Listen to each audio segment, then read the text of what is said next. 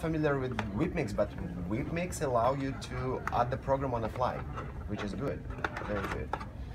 So another feature of uh, the Kima, which is not really good, quick cooling and quick start working the same way.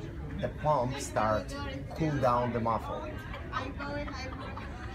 To quick start, you know, pump working and hot air from the muffle comes to the cold pump. What it means? Condensate.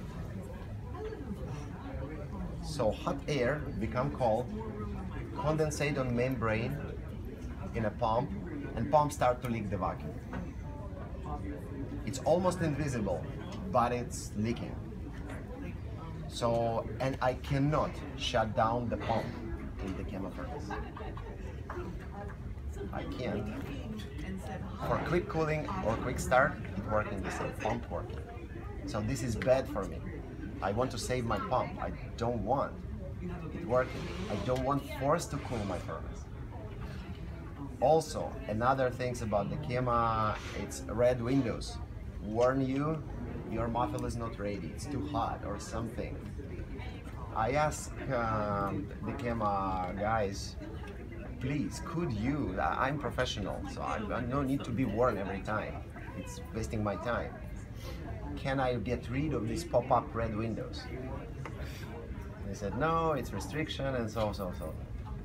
But anyway, the camera is good. Maybe it's not ergonomic design.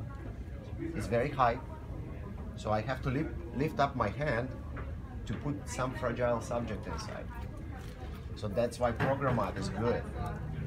KDF is the best. Vita coffee maker, little one, is the best.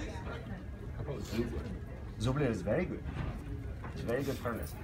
But we can talk about furnaces all day long, which is good, which is bad. The only one thing uh, make a difference between high-end furnace and low-end stable temperature every time every day every month all the year.